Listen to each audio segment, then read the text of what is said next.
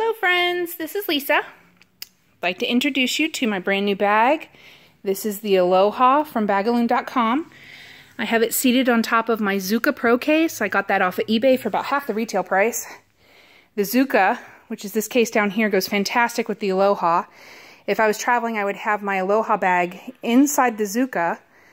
And because of these inset wheels that the Pro has, it'll fit in my overhead compartment on the airplane. Uh, for my day-to-day -day gigs, though, I'm going to go ahead and keep the case just the way it is. I've got some great branding going on with the embroidery. And the balloons are put away because the case is all packed up. When I'm ready to work, though, just lift this off and bam, ready to go. This is the smaller of the two Aloha bags. I want to make it very clear that I do have it way overpacked. There's about 2,000 twisting balloons in there.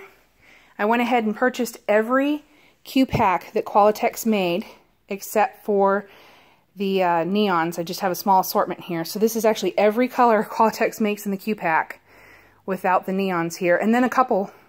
I've got some uh, Pearl Azure in there, some Ivory, and uh, so that's these two rolls. This roll is mostly 160s. I've got a couple 350s that I use a lot of in there. And of course my Betallatex uh, polka dots. Um, this here is a roll-up that consists of three assortment packs. This is a full pack of Carnival, a full pack of Vibrant, and a full pack of Character 350s, all in one roll-up. So there's 300 balloons here. Here I've got an assortment of 646s, and uh, could have more of those, but gotta leave room for my awesome sauce. Thank you so much, Nate the Great, for this idea. Kids love my rattlesnakes and my rattles rattling. So keep that in there. Lots of extra room for balloons. As you can see, I didn't put any here in the corners on the sides. There's more room. Uh, I've got room for, I think, one more fat chisel tip type marker right here. Otherwise, I have my 14 rainbow Sharpies, my white marker here, and I'm sure most of you have seen this already. This is fantastic. I used it all weekend long. This is where I keep my black Sharpie now whenever I'm uh, twisting, I just sit it in there and I can use it again and again. And then when I'm ready to go, I just snap it in and I'll put it inside this elastic loop so that way it helps hold it in place. My other elastic loop here I use um, for my headbands. I take the headbands out and put them right here. I will tell you guys that I had just all my hearts and rounds were just rotting in my bag. Very rarely did I use them when I took these headbands, put them in the loop, and I had all of my rounds and hearts and quick links displayed right here in the front, suddenly everybody wanted headbands all weekend long. It was fantastic. Um, I want to say thank you to Rose, again, publicly. uh, it was her idea to do the Roy G. Biv. She had it in, I think, a couple pockets on one of her older setups, and um, we've taken it to a whole new level with the Aloha here. And uh, got mostly just rainbow in the front. Got some monochromatic and clears on the side and uh, more monochromatic going on with some uh, commonly used prints. I keep my eyeballs right here. That sounded weird. I've got uh, all kinds of prints back here. You guys probably tell what those are. This is where I keep my business cards. I like to stand with my um, cart on my left hand side so it makes it easy for them to grab. And, oh, balloon straws. These are the smaller, the shorter balloon straws. They're not the really long ones. Fit in there perfect. Oh, this branding, fantastic. Got my Lisa McTwister going on, and whenever I'm working for an agent, I just take this, oh, this is the lid, by the way, and I roll it in the opposite direction, and now it's black, and so my agent keeps just happy. And uh, even with the cart, this whole bag full as it is, that will unroll and zip no problem. Uh, down in the Zuca, I have my square reader in here. And in here I have this huge flat pocket that's fantastic for all my tool circles. I just used to have a couple of these smashed into a little pocket, all wrinkled, and now they're nice and flat so they really pop whenever I use them. I don't have anything in the other side, but in here is where I keep my spare pump You guys can see I've got my Legenda, my InStand. This is the InStand tripod right here.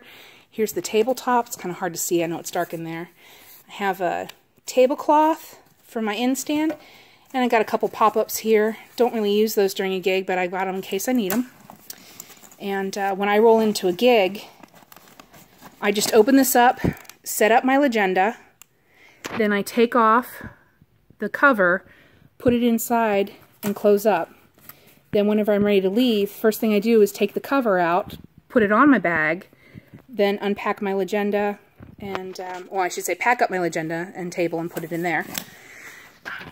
This bag is actually holding more balloons than I carried around on my Navigator. I used to just have one pocket of assortment for the rounds, the hearts, and the quick links, and now I've got the whole Roy G. Biv order going on on the front. So I'm really happy with how much it holds. Again, it is too full to put in the Zuca. I tried, it just sat on top and laughed at me. I wasn't sure if I would have enough room, so I went ahead and purchased the larger navigator size. Now, as much as I'm going to miss that awesome embroidery, if you want any custom embroidery, again, go to Ron, bagalloon.com. It's awesome. Uh, this bag, I'm not going to miss carrying around this heavy bag. Uh, all of the balloons that are inside here, including the awesome sauce, fit in here with about that much space left over. I had room for about two more roll-ups. So if you need more room than this bag will allow, you can go ahead and get this.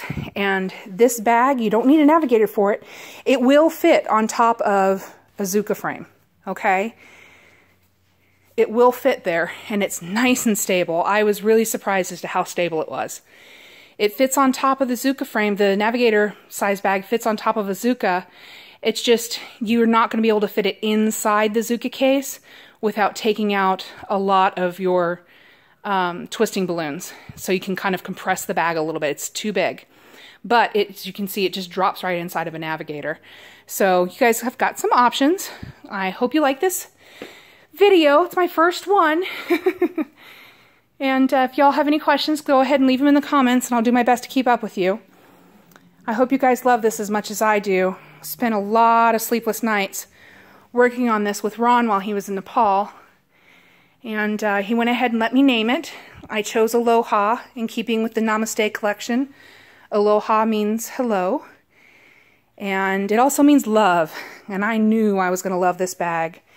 And uh, for those of you that don't know, Hawaii is really special to me. I've lived there a couple times where met my husband. My kids have Hawaiian middle names. And uh, very fitting, I think, for this particular bag. Uh, especially with all the rainbows going on in the front. so, there it is, guys. The Aloha and the Aloha XL. Or if you're going to go ahead and order them, make sure that you put in a deposit for the summer production. This is Aloha with a Z at the end, and this one is Aloha with an N at the end, so we can size for the Zuca or the Navigator, okay? And if you like that embroidery, you want to make sure that you put in your order ahead of time, okay? It shows whenever you're working and when the bag is closed. We've got one on the outside too, all right? And as you know, that bag looked really great with the cart cover. So that is one of my favorite parts about this is that I just slide this over top better than that. and I am done for the day. So enjoy, guys. See you soon.